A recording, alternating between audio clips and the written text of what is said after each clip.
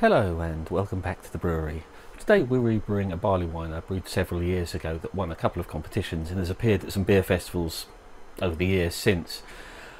This year is the last time it's going to be appearing at Indyman, I believe, so it's time to make some more.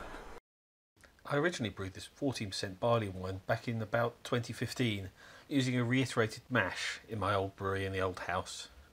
I entered into a competition where the prize was to have the beer brewed for the Stockport Beer Festival and won its category prize was to brew the beer at Runaway Brewery in the Green Quarter of Manchester. Mark, the brewer at Runaway, and I discussed the recipe over a few weeks and decided to scale it back a little to make it practical, both because of the short time until it needed to be ready for the festival, but also to match the capacity of the brewery. On the brew day, we totally maxed out their mash tun, and the beer ended up at about 9.5%. A few months later, the beer was served at Stockport Beer Festival called Caller the Smaller, the remaining beer went into two whisky barrels. One was a Speyside barrel and one Laphroaig. After about a year in the barrels, the beer was released in bottles, now up to about 10.5%, and tasting almost entirely of the whisky, but still a little bit of beer in there. A few months later, a keg of the beer appeared at Manchester's best beer festival, Indyman BeerCon. It appeared alongside a load of new beer from the Stone Brewery in Berlin, which was really rather nice. The beer's been on at every Indyman since then. It's been doing my brewing ego a lot of good. Anyway, this year's festival had the last keg of the runaway version, so it's now time to rebrew something close to the original. I slightly adjusted the recipe, replacing the second mash with DME, as I really didn't have the time for a reiterated mash brew day, which is a really long brew day. So I ended up with 9 kilos of Maris Otter, 200 grams each of normal and dark crystal malts, 50 grams of chocolate malt, and 5 kilograms of DME. The malt alone pretty much maxed out my mash tun, even with the water to grain ratio dropped a bit from my normal level.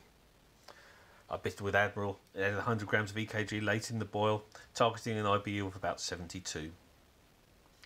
Going into the fermenter, the beer had a gravity of 1.150. Now the yeast I use in this beer is WLP 099, the super high gravity. This is said to be the original yeast from the Thomas Hardy uh, beer barley wine. So this is why my version of this beer is usually called Obscurity. I use a step starter. First a stirred starter of about one and a half litres at 1.040 gravity, followed by a shaken four litre because my demijohn won't fit onto my stir plate. Uh, but that one's I run at 1.080 just to get the yeast a bit more used to the sort of gravities it's going to experience when it hits the real beer. Interestingly, when I took a gravity reading of the beer straight after pitching uh, the sea gravity was a little bit lower than I expected and started to rise over the next day or so, being monitored by a tilt hydrometer. What I think was going on was that the starter was floating on the top of the beer before it mixed in properly, so I was getting a gravity reading that was mostly made up of the starter.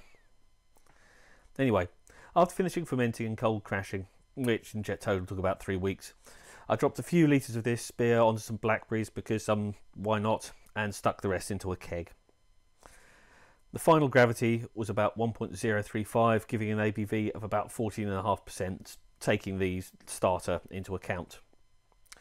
Obviously, I had to try the gravity sample. It had a fair amount of alcohol present, but lots of dried fruit, some stone fruit, a bit of cake-like, fruit cake-like finish. It's really rather nice. And there's enough bitterness in there so it doesn't end up sweet. Now, it needs to rest for ages to mature. It'll probably be at its best by Christmas. Next Christmas.